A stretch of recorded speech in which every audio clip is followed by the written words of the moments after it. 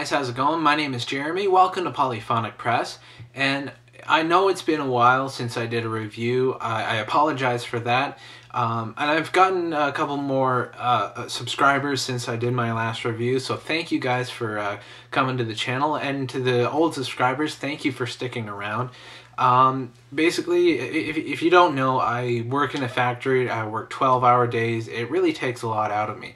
So when I get a day off, I really don't feel like doing anything but relaxing. So I haven't really been um, motivated to, to do any videos or anything like that but um, I'm not just to sort of dispel anything. I'm not quitting or anything like that. I just um, I just felt tired and sort of you know unmotivated to do anything. But I'm back, and uh, hopefully I will be. I will do reviews whenever I can. It won't be on a consistent basis, um, as long as I have my day job. But I will still continue to do reviews more frequently than I have. Um, and again, I apologize for not uh, for not being uh, as consistent as I should be. But anyway, now that that's out of the way, uh, today I'm going to be reviewing Wrecking Ball by Bruce Springsteen.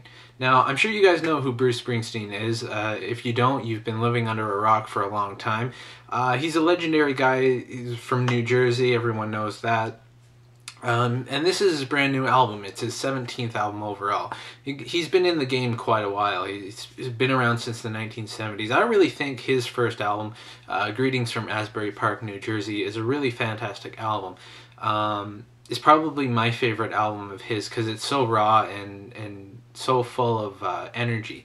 Uh, but anyway, I digress. This album starts off with a song called We Take Care of Our Own. And um, it's got a sort of very up-tempo, sort of victorious feel. Uh, it was also the first single to be released from the album. And when you hear it, it really does sound like a Bruce Springsteen song which is a good thing. Uh, he's consistent in his career. In, right away, you can tell that it sort of has that feel that's sort of become synonymous with his name. It's got really thought-provoking lyrics, and he's sort of commenting on the world around him.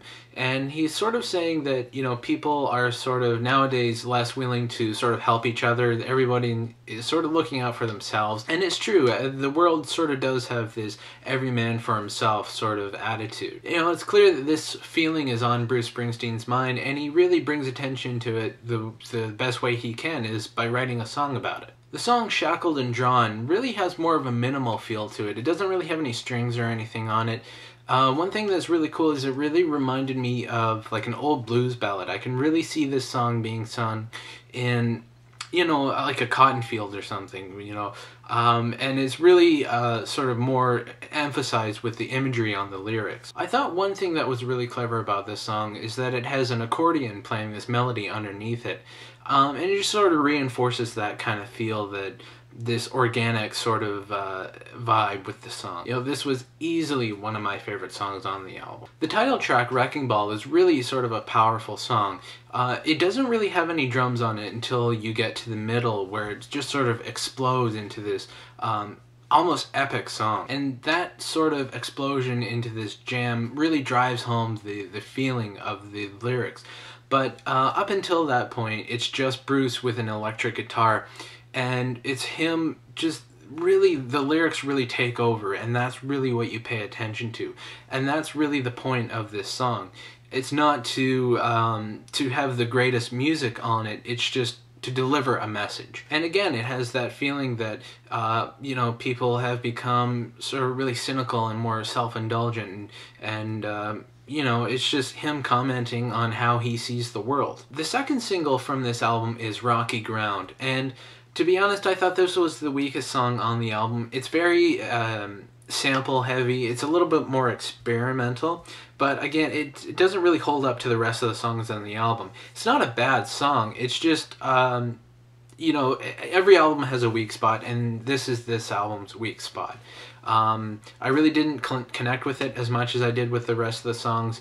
Um, it just didn't hold up for me. The album closes with a song called We Are Alive, and it really kind of has more of a feel that's uh, sort of similar to the song Wrecking Ball, where it's just Bruce with an acoustic guitar this time, and then later on it explodes with the whole band playing.